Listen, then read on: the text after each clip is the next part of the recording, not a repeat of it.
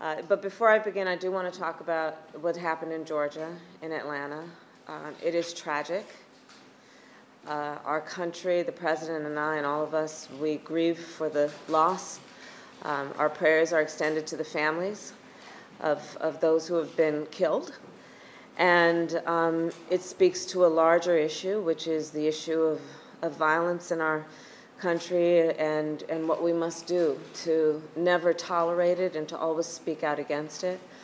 Uh, the investigation is ongoing. We don't yet know, we're not yet clear about the motive. But I do want to say to our Asian American community that we stand with you and understand how this has frightened and shocked and outraged um, all people, but knowing the, the increasing level of hate crime against our Asian American um, brothers and sisters, we also want to speak out in um, solidarity with them and, and acknowledge that none of us should ever be silent in the face of any form of hate.